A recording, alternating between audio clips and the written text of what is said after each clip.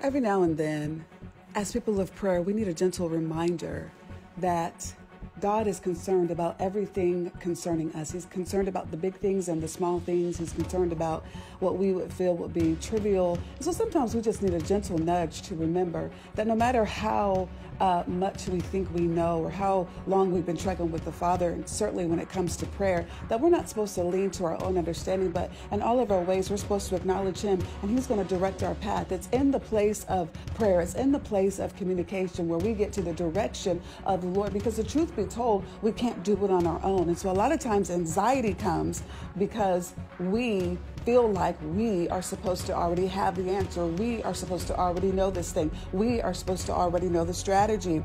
Uh, Philippians 4, verse 6 says, Be careful for nothing, but in everything by prayer and supplication with thanksgiving, let your requests be made known unto God. By everything with prayer and supplication, supplication with thanksgiving, let your requests be made known unto God.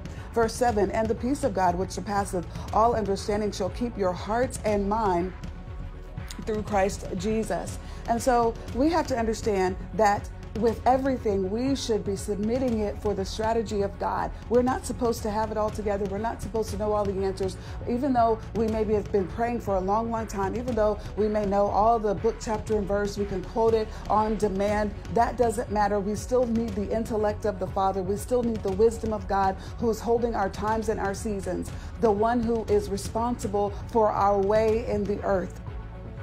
And so today, when we think about what's going on in your world, is there anything that you have anxiety about? Is there any place where you just don't know exactly what you're supposed to do? And so I submit unto you that you're not supposed to feel like uh, that you are lost or that you don't have clarity or even be down on yourself because you feel like you don't have the answer. You do have the answer. His name is Jesus Christ. And so be careful for nothing, but in everything by prayer and supplication. That means to, uh, it means a request. And thanksgiving. You're thanking God that He is your wisdom. You're thanking God that He is your knowledge. You're thanking God that He is your strategist. God is the master strategist and He gives you a strategy. And so while we may think we're clever and we may think we're smart and we may think we're intellectual, at the end of the day, those things are not going to do us very good in terms of the plan of God for us.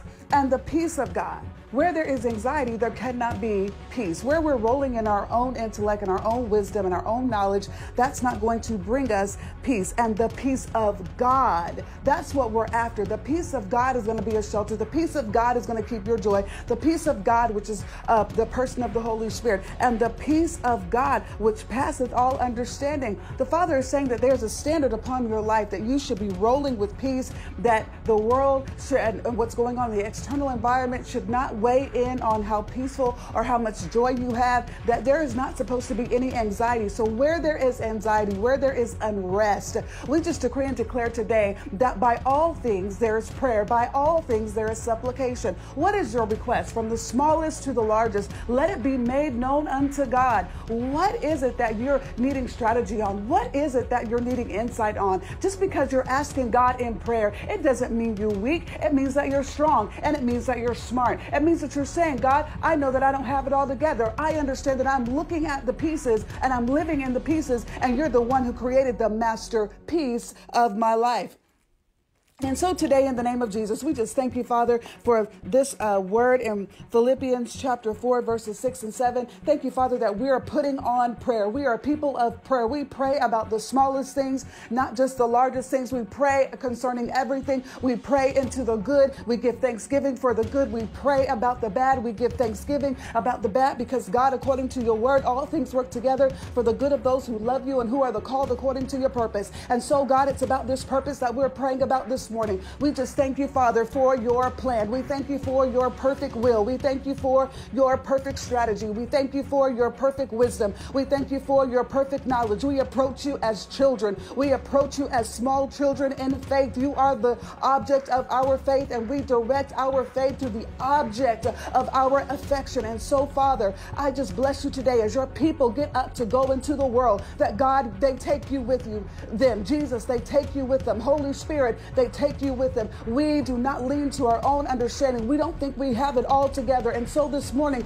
we just remind ourselves in the presence of the Father that God, you the one. God, you are the one. God, you are the one who orders our steps. God, you are the one that makes our path straight. God, you are the one that makes our path plain. God, you are the one that leads us down the road of righteousness for your name's sake. God, you are the one that makes us sit down in green pastures. God, you are the one. And so today, our declaration, our declaration is that we are good. Our declaration is that I am good on every side. Our declaration is we're not worried about anything. Our declaration is we don't have anxiety about anything. Why? Because we don't have to figure it out. And so we get out of the fallacy that we've got to figure it out and we've got to get the plan together and we've got to rub two sticks together. No, I am good with letting God be God. I am good with letting God be God. I am good. I'm okay. I am well. I am prospering. I am in health. I am at peace. I am settled. I am full and I am fulfilled. I am good. And so, Father, may the words of our mouth and the meditations of our heart be acceptable in your sight, O Lord, our strength, O Lord, our Redeemer. And so we say to you, God, it's because of you we can say with all confidence, we are good.